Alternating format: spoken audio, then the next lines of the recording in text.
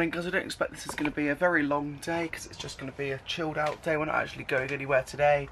But people have been asking me recently what is our awning setup. So I thought I could quickly show you in this vlog, which is day five, our awning setup.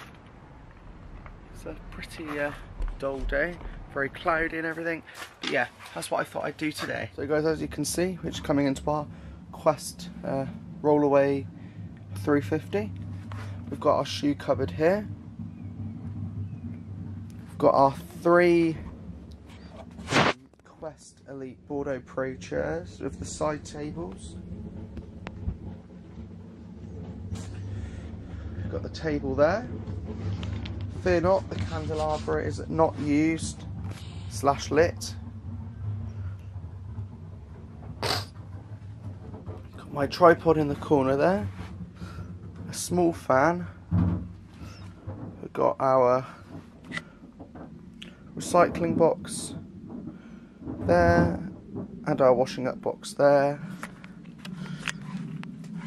We have our Cadac out here under its waterproof cover. And here's the awning. As you can see, we've got some solar lights. Walking around the awning. As you can see, it's a, a Westfield uh, Rollaway 350. There'll be a review of this coming very shortly. And around the back, you can see, got our rotary airer.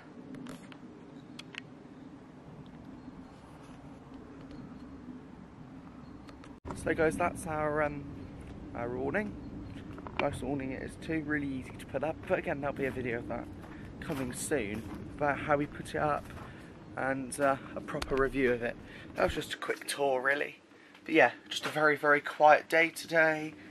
Um, Because um, yeah, we're just getting, uh, it's going to be a big day for me and Dad tomorrow. So we thought we'd just have a bit of a quiet day today. So guys, uh, we're now sat in the awning, um, we've opened all the windows and we're just having a lovely time in the awning. We're about to have some lunch, uh, we're just eating everything up today, um, just having a nice time. And yeah, as you can see the weather's not too bad, it's a bit grey, a bit grim, but yeah.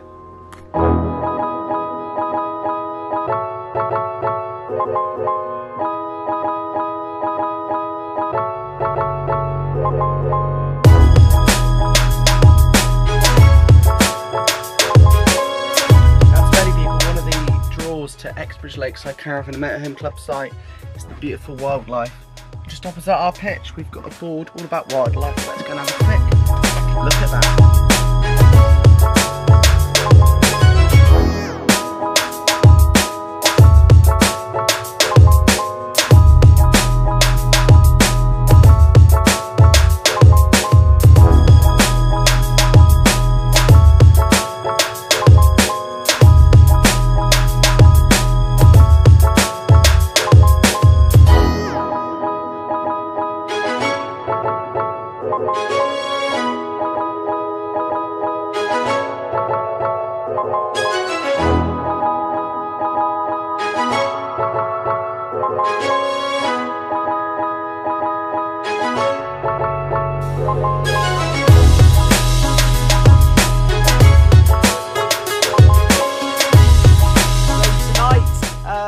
Spanish tapas evening. Horiba, hariba.